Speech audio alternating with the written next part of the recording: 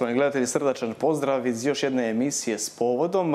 Ona rečenica koja ha, zvuči kao floskula Bosna i Hercegovina i Europska unija. Kada će to biti, hoće li ikada biti, to zapravo u mnoštvo nekih stvari nije ni bitno. Kroz ovu emisiju smo već nekoliko puta predstavili stvari koje su povezane s pristupom Bosne i Hercegovine Europskoj uniji, koje su zaista korisne i bitne za našu širu društvenu zajednicu. O jednoj takvoj temi pričamo i danas. Ja ću u studiju za početak pozdraviti mog današnjeg gosta, gospodina Ivana Mlinarovića, zaposlenika Ministarstva financija Zapadno-Hercegovačke županije. Dobro večer i dobro vam došli. Dobro večer, lijep pozdrav vama, gledateljicama i gledateljima. Hvala vam na pozivu. Još jednom. I ja ću se poslužiti ovim papirom na početku da ne bih malo da stavimo u kontekst ovaj naš razgovor. Dakle, radi se o programu Europske unije za mlade državne službenike u Bosni i Hercegovini, naravno preko Europske unije i realizaciju British Councila. puno je tema i mi smo prije ove emisije dotakli se malo kroz razgovor. Zapravo radi se o jednoj široj edukaciji koja će koja ide na dobrobit javnih usluga. Javnih usluga za njihovu veću transparentnost, učinkovitost i tako dalje, tako dalje. O svemu onome o čemu se priča, evo vi nas malo uputite. Vi ste bili jedan od 25, sudionika. Da, da, jedan od 25 sretnika koji su upali u ovaj projekt jer e, interes je koliko sam upoznat bio dosta dobar. E, Kriteriji su kao prvo bilo veoma strogi, između ostalog jedna, jedna prva, prvi kriterij je bio uh, rad na procesu integracije uh, BiH, integracije Evropskih mhm. unija od jedne do sedam godina. Ja sam eto, je taj posao obavljao zadnjih pet godina kao glavni koordinator u Županiji za devet poglavlja i ekonomskih kriterija naše županije. Uh, onda je Dalje, kriteriji su bili isto tako e, veoma rigorozni što se tiče poznavanja engleskog jezika, najmanje B2 stupanj, odnosno e, odlično poznavanje engleskog jezika. E, kriteriji sami po sebi nisu meni bar nešto bili teški, dok jedan, jedan onaj Zadnji je bio veoma rigorozan, to bi naglasio, intervju sa predstavnicima od British Councila, Greka, e, koji je bio u završnoj fazi i oni su bili ti koji su odabirali tih 25 sretnika. Dakle, to je bio zadnja faza prilikom odabira tih 25 učesnika. Zanimljivo je što kaže 25 sretnika, znači postoje veći interes i prema vašim riječima nije to bilo tek tako. Odradit ćemo neku edukaciju, reda radi, nego se radilo ozbiljno. Tako je, tako je. Obzirom da je, da je u, sam ovaj proces,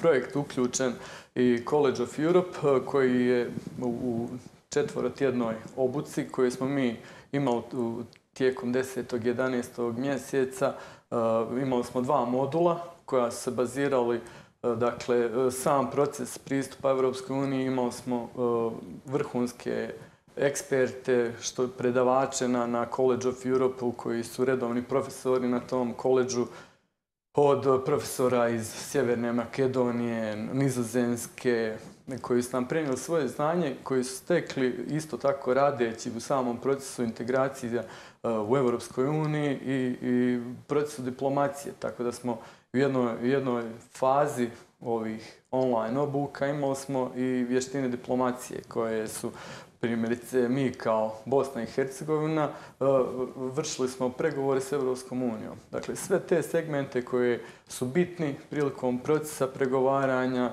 od, od povijesnog razvitka Evropske unije, od povijesnog razvitka Bosne i Hercegovine i njihovog puta u Evropsku uniju do 14 ovih prioriteta Evropske unije. E, fokus je također u ovome projektu e, stavljen na poglavlje 23, odnosno na reform javne uprave, e, s tim da, da, da je kao veoma širok spektar kao što ste sami naglasili, pokriveno dosta poglavlja. Nas je jedan, jedan od, od tema koji se obrađuje prilikom samog ovoga projekta je i, i izrada policy papera, odnosno politike koju bi mi kao polaznici nakon ovih predavanja i koji smo nakon predavanja počeli raditi u grupama po pet. Dakle, podijeljeni smo nakon predavanja u grupe po pet sudionika, članova i pristupili smo izradi politike koja bi Bosnu i Hercegovinu povola prema ljepšem putu, prema ulasku, prema stjecanju statusa kandidata za da. Evo ja bih se samo kratko vratio. Svaka edukacija, ono što smo govorili ranije, je bitna za pojedinca. Nešto će novo naučiti pa makar to bilo jedno pravilo. E, današnjim gledateljima malo to razjasnimo. Evo, ovdje imam par navedenih stvari. Razumijevanje dinamike Europske unije, BiH, politika proširenja, ono što smo kazali, upravljanje učinkovitim javnim uslugama, oblikovanje politike do evaluacije, dakle do primjene na terenu.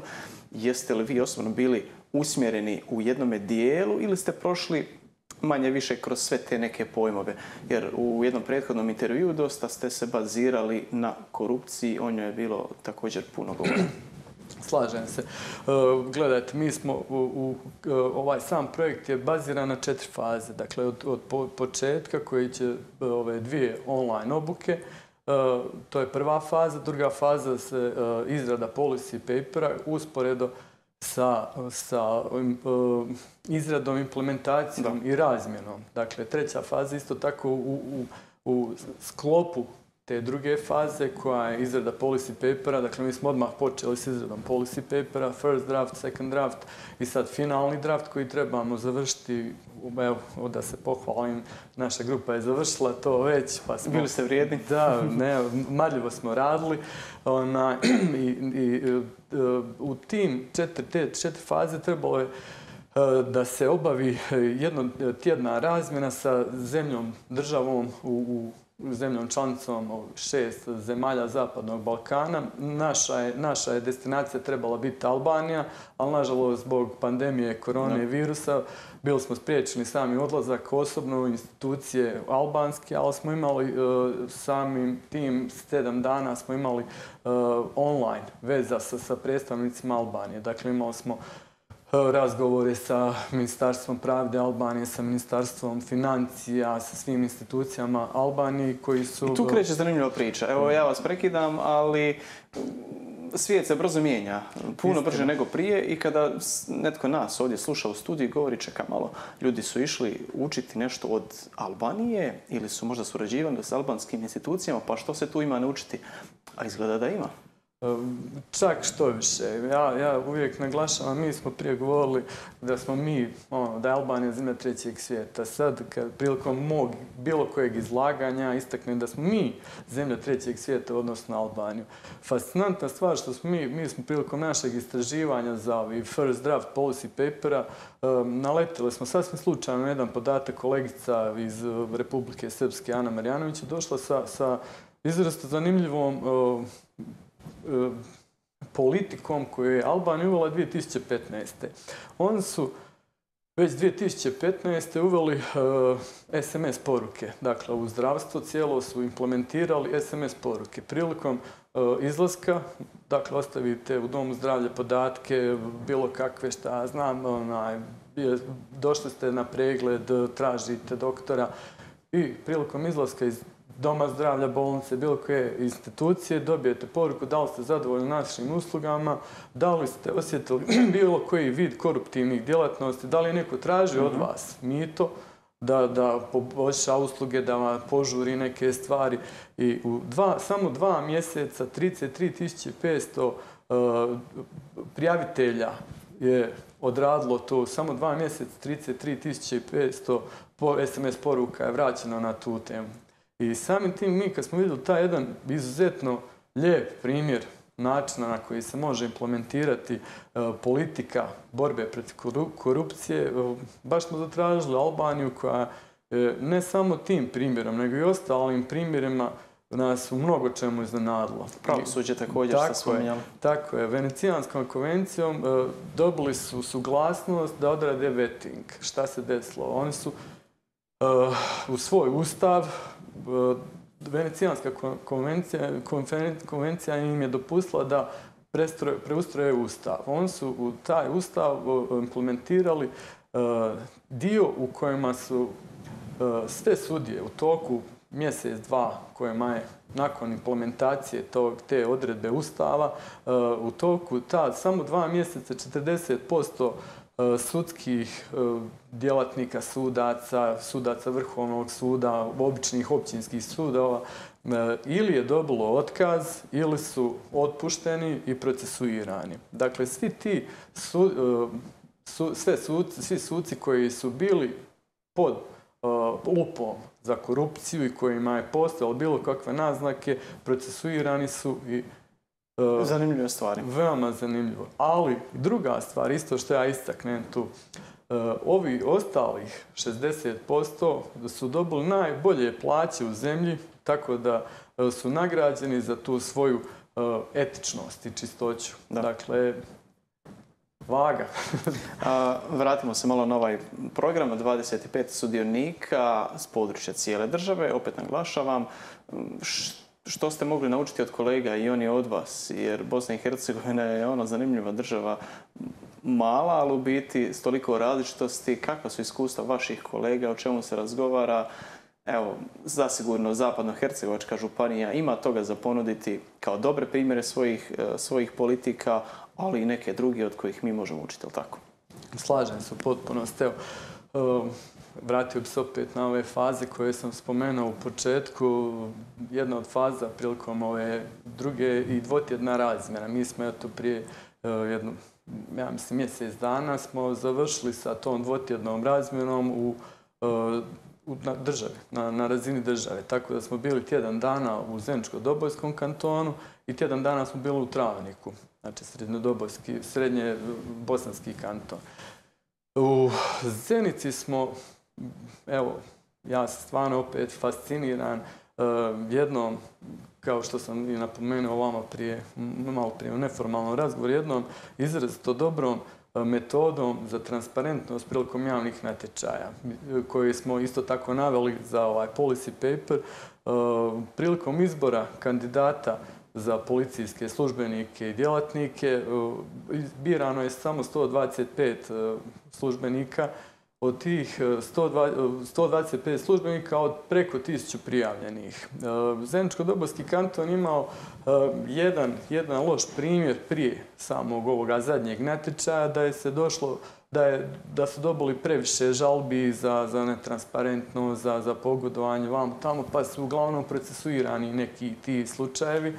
I vođeni tom praksom, oni su uz u suradnji sa Transparency International i još ovih e, par nevladnih organizacija organizirali sam natječaj toliko transparentan u vidu snimanja e, samih djelatnika, intervju, intervju koji su inače prilikom javnih natječaja nosili su otprilike 20, 30, nekad i po 50 bodova od 100 koji su potrebno, tako da su neki kandidati bili primani samo na osnovu intervjua i dobivali uposlenje. Ovdje su nosili samo jedan bod. Dakle, beznačajni bod koji e, nije mogao prevagnuti ni u kojem segmentu. Da, u biti natječaj je tako organiziran i kroz e, ta povjerenstva da se smanji mogućnost manipulacije, nego čisto kandidat što ima za ponuditi ovaj, u odnosu na nekog drugog kandidata i bit će biran. Tako je. I, jedna je ista stvar zanimljiva to što su radili, da su sami kandidati,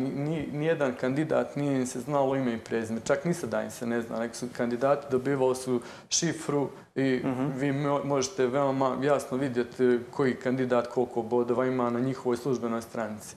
E, šifru sa pripadajućim brojem i još jedna stvar prilikom e, samog ispitnog dijela u komisiji. Komisija je sastavljala od nekih članova koji su primjerice iz, zdravstva, iz ministarstva financija, koji nisu vezani usko za, za kabinet MUPA i on sastavljao pitanje dan prije i ti pitanja, od, od 20-30 pitanja koji su sastavili random, nasumični izbor pitanja, tako da i tu mogućnost manipulacije smanjena na, minimum. Ne znam, jesmo li kroz razgovor naglasili što sada slijedi, idete li, idete li dalje, je li program završen ili je prva polovica tek? Prva polovica je završena ovoga programa, sad slijedi uh, suglasnost od British Councila što se mhm. same policy papera tiče Dakle, oni revidiraju cijeli taj policy paper što smo mi vrijedno radili zadnjih mjeseci od, eto, primjer, od prvog dakle, mjeseca. Dakle, vaša grupa od pet sudionika, tako? Tako je, tako je. Sve grupe se revidiraju. Znači, naša mentorica Denisa Saralić, ona je sad zadužena da revidira e, svaki policy paper što smo mi, dakle naš, naša tema je konkretno bila e, e, korupcija i reforma javne uprave kroz mehanizme i osvješćivanje dok je primjerice još teme bile su digitalizacija javne uprave i tako. te, sve te teme trebaju se revidirati i idu u British Council i kad oni daju zeleno svjetlo slijedi printanje, i publikacija svega ovoga što smo mi radili do sada i onda kao svečana dodjela tih diploma u Briselu u devetom mjesecu, kraj devetog mjeseca. Po planu, ako nas ova korona ne, ne spriječi. Hoće li vam ovo pomoći u vašem svakodnevnom radu? Jer već dugo godina ste, spomenuo sam zaposlenik Ministarstva financija Zapadno-Hercevačke županije, imali primjenu u praksi? Da, ja vjerujem da bi, da bi se moglo i sve ove metode e, i primijeniti sve u dogledno vrijeme. Iskreno se nadam da ćemo e, primijeniti i implementirati ove naše metode do kojih smo došli, tako da, da budemo barem dio. što barem dio, ako ništa. Kako je puno naših gledatelja pred kraj ovoga razgovora s područja i vaše županije, pa im je stoga i zanimljivo, Zasigurno postoje neke dobre prakse kojima se može ovaj, ponosti Zapadno-Hercevačka županija. Spominjali ste Zeničko-Dobojsku županiju, ali i oni imaju nešto od nas za naučiti. Evo, konkretno je vaš resor.